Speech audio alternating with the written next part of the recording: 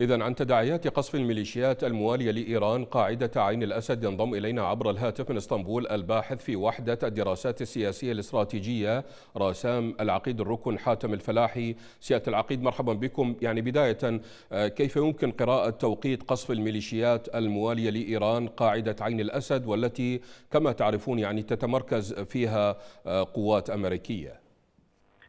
نعم مساء الخير لك ولمشاهدي قناة الرافدين. حقيقة من ناحية التوقيت تأتي هذه الضربات في توقيت حقيقة نستطيع أن نقول يتضمن نقطتين أساسية النقطة الأولى بأنه يتزامن مع مقتل سليماني وأبو مهدي المهندس التي جرت في العام الماضي في 3 كانون الثاني نعم. وكذلك تأتي أيضا بالتزامن مع الاتفاق الذي أبرم بين حكومة المنطقة الخضراء وما بين القوات الأمريكية على أن يتم الانسحاب آه، في نهاية عام 2021 وبالتالي أنا أعتقد بأن هناك الآن إشكالية في هذا الموضوع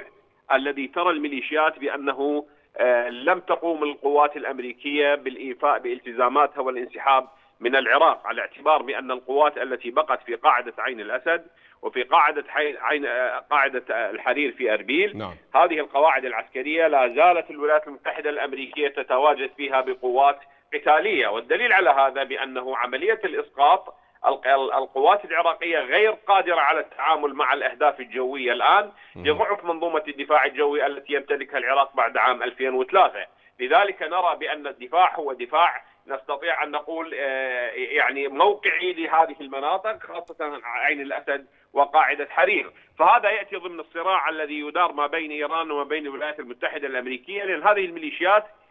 تنفذ الأوامر التي تصدر إليها من طهران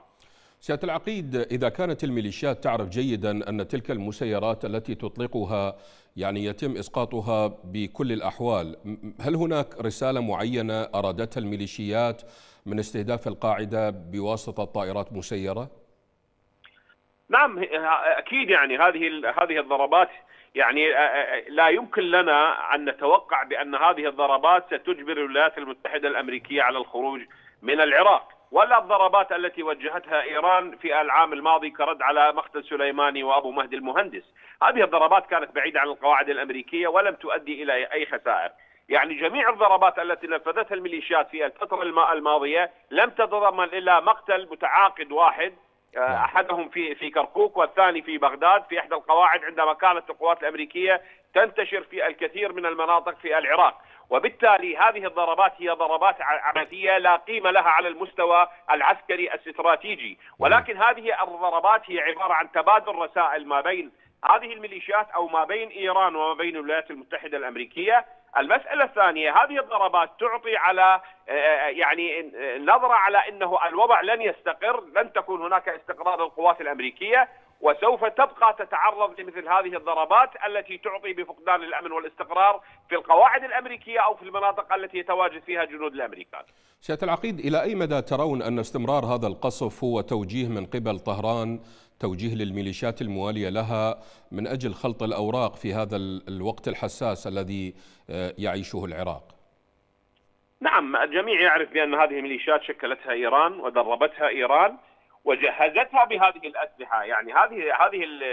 الطائرات المسيرة والصواريخ الموجودة لدى الميليشيات لا تمتلكها الميليشيات وغير قاعدة على أن توجد قاعدة صناعية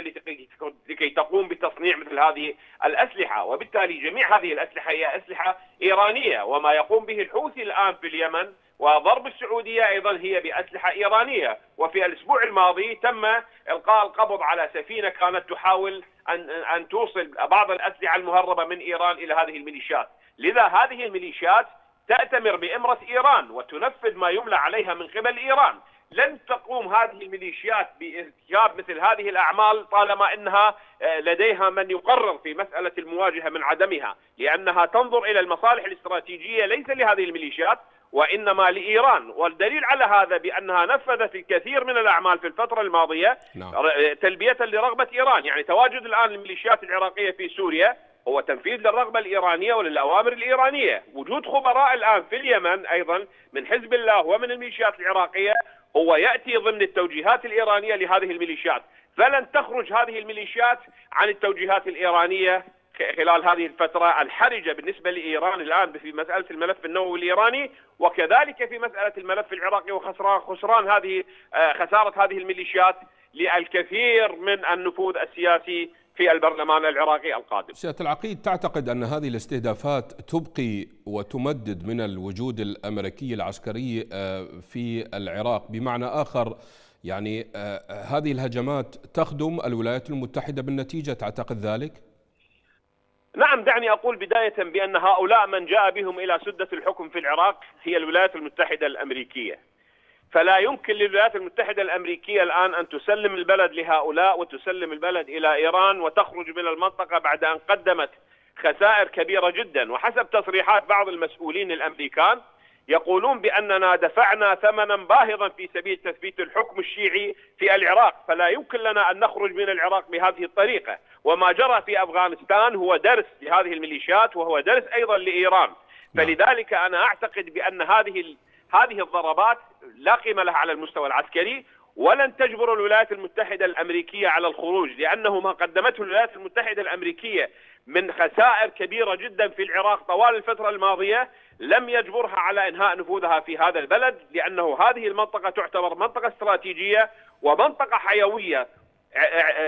إضافة إلى هذا بأنه طالما بأنه لم يكن هناك أي اتفاق مع إيران لحد هذه اللحظة حسب حسب التسريبات بالنسبة للملف النووي الإيراني نعم. فبقاء الولايات المتحدة في العراق هو ضروري جدا لإحكام السيطرة ولمحاصرة إيران خلال الفترة المقبلة إذا ما لم ترضخ إلى الشروط الأمريكية نعم في مسألة العودة إلى الاتفاق النووي الإيراني. من إسطنبول الباحث في وحدة الدراسات السياسية الاستراتيجية راسام العقيد الركن حاتم الفلاحي شكرا جزيلا لكم.